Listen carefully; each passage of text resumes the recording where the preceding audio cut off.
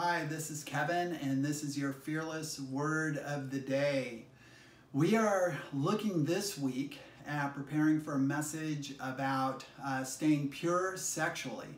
And so we're looking at a psalm that King David wrote, actually, Psalm 119, and it's all about God's Word.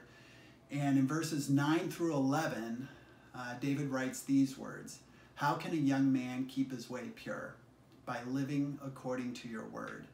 I seek you with all of my heart. Do not let me stray from your commands. I have hidden your word in my heart that I might not sin against you. And while David does not explicitly talk about this being about sexual purity, it's really just about purity. It's about staying aligned and staying committed and being wholehearted about anything.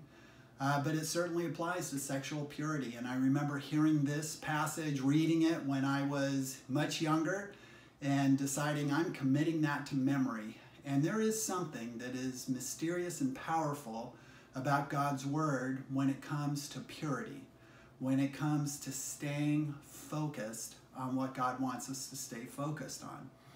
And I know that for me, throughout the years, this has been a passage that has been very helpful to me. I want to just ask you to consider uh, how do you do on memorizing scripture? That's the idea of hiding the word in your heart.